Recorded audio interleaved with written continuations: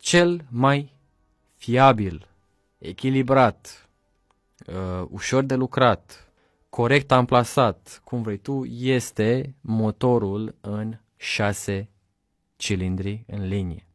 L6 inline 6, 6 cilindri în linie. O să-l vedeți în specificații tehnice L6, linie 6 sau în engleză I6 sau inline 6. Inline adică în linie. Este un motor extrem de echilibrat, bine echilibrat. Pistoanele lucrează în cor, îmi place mie să le spun. Două, două, două, două, două, două, numai câte două lucrează și este foarte bine echilibrat. Mot- uh, capota e destul de lungă, repet, sau motorul e destul de în interior amplasat.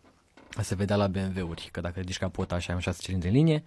Capota e destul de lungă, dar și motorul e băgat destul de în interior. Pentru că, oricum, de la motor uh, din cutie pleacă un cardan către grup în spate și, în general, ăsta este layoutul clasic al mașinii. Așa a fost proiectată pentru prima dată o mașină. Motor amplasat longitudinal, 4-6 cilindri în linie, tracțiune spate.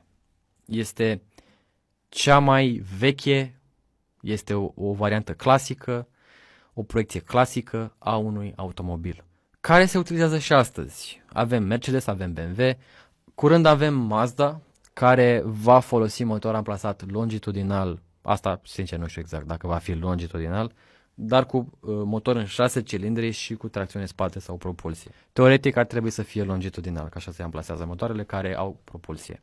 Uh, motoarele transversale sunt o variantă mai ieftină, amplasate într-un mod mai compact, cu tracțiune față sau integrală, dar nu e o tracțiune integrală de calitate.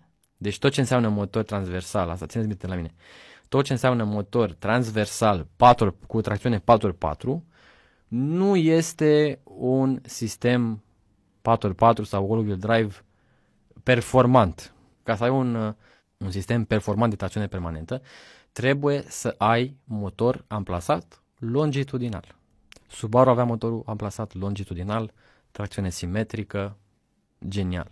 Uh, bine, asta nu înseamnă nici că dacă ai un uh, motor amplasat longitudinal, înseamnă obligatoriu că, că ai un sistem de tracțiune foarte bun, adică X-Drive-ul la BMW, nu strălucește el pe, pe zăpadă, adică nu. Vine Audi și îl ia târâși cu 4 nu, despre ce vorbim. Uh, dar pe asfalt este mișto, nu pierde tracțiunea, accelerează bine, e mișto, dar nu e pentru zăpadă, nu e pentru off-road. În fine, revenind la motor, cel mai fiabil motor, deci cel mai fiabil, cel mai rezistent, cel mai bine echilibrat, cel mai ușor de lucrat, uh, cel mai vechi, este motorul 6 în linie.